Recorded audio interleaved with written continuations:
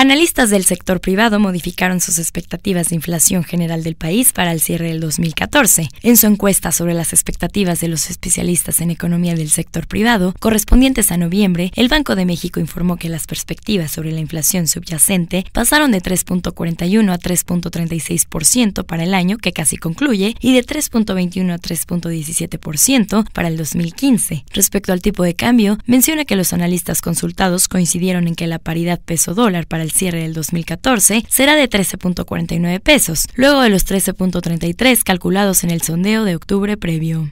El Instituto Central abunda que la expectativa de los especialistas para el siguiente año es de 13.37 pesos, después de la estimación de 13.17 del sondeo anterior.